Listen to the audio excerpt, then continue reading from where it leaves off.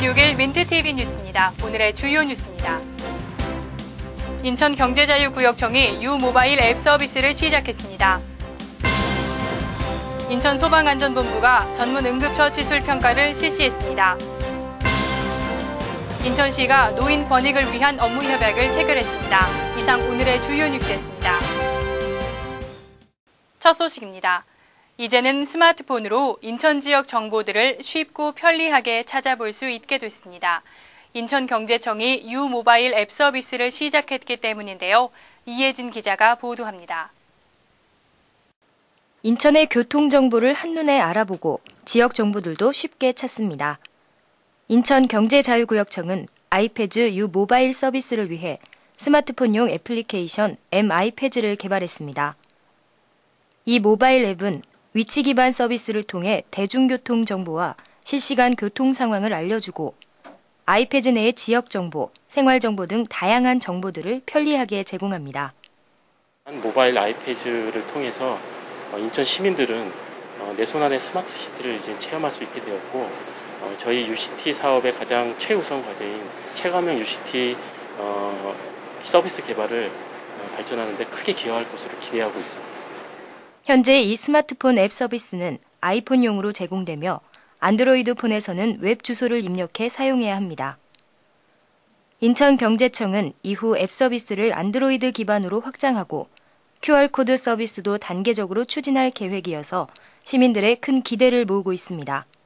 민트TV 뉴스 이혜진입니다. 사고를 당했을 때 신속한 응급처치만으로도 환자를 살릴 수 있는 확률은 훨씬 높아진다고 하는데요. 인천 소방안전본부가 응급 환자의 소생률을 높이기 위해 전문 응급처치술 평가를 실시했습니다. 보도에 오병민 기자입니다.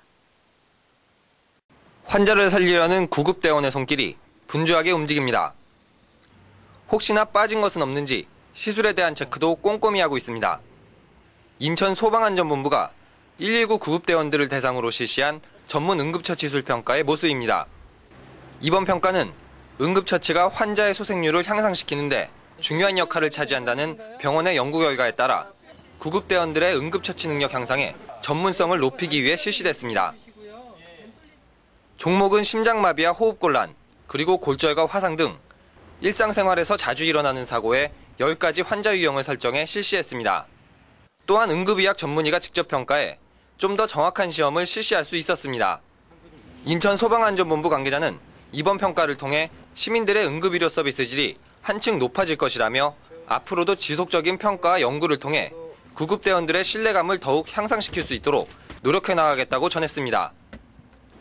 민트TV 뉴스 오병민입니다. 인구 고령화가 빠르게 진행되고 있는 만큼 노인 관련 문제들 또한 증가하고 있는데요. 이에 따라 인천시가 주요 관련 기관과 노인 인권 보호를 위해 업무 협약을 체결했습니다. 시는 존중받아야 할 노인들이 지역사회에서 차별받고 학대받는 현실에 대응하기 위해 노인 인권 보호를 위한 네트워크 형성에 직접 나선다고 밝혔습니다. 이번에 진행된 업무 협약은 시 주최하에 다섯 개의 노인 관련 주요 기관이 참석한 가운데 진행됐습니다. 특히 지방자치단체로는 전국 최초로 이루어진 것이어서 그 의미가 더욱 크다고 볼 수 있습니다. 시는 그동안 민선 5기 공약 사항 중 하나인 노인이 행복한 복지도시 인천을 구현하기 위해 다양한 방안을 마련해 왔습니다. 독거 노인을 위한 응급 화상 전화 보급과 배우자를 잃고 홀로 된 노인들을 위한 합독 사업 등이 예입니다. 하지만 시는 노인 문제가 계속해서 확대되고 있어 주요 기관과 이번 협약을 체결하게 됐다고 밝혔습니다. 시는 앞으로 이번 협약을 통해 학대 피해 노인 신고 체계 형성과 일자리 지원, 그리고 노인 쉼터 구축 등 노인 권익기관 지원에 박차를 가할 방침입니다.